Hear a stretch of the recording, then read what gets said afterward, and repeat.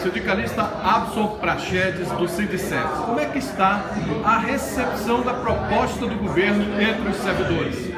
É importante dizer que nós estamos aqui em Brasília, eu, Paulo Vieira, representando o Estado de Rondônia, na, no, no CDE e na plenária da Condicef que, que está sendo realizado nesse momento. O governo apresentou a proposta oficial e mantém os 21,3 que já havia anunciado, contrapondo, obviamente, a proposta de 27,3 que o conjunto dos trabalhadores propuseram ao governo.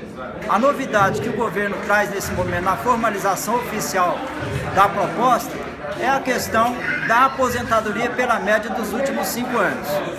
Então nós entendemos que essa proposta da aposentadoria ela é aceitável, porém com algumas ressalvas. Então nesse momento, já com uma prévia reunião que nós fizemos no CDE, no Conselho Diretivo de Entidades da Condicef, nós obviamente é, a, recebemos a proposta, porém uma proposta que nós estamos rejeitando pela maioria.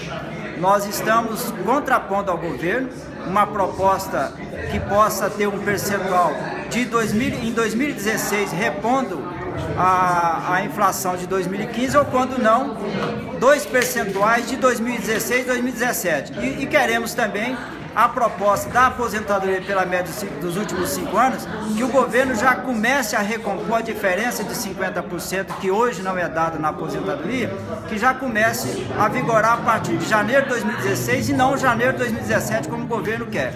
Então já houve um avanço do governo em relação a oficializar uma luta antiga que é a questão da paridade entre ativos e inativos. Porém, nós precisamos continuar a conversa com o governo, intensificar o movimento para a gente poder ter respostas me melhores para a nossa categoria.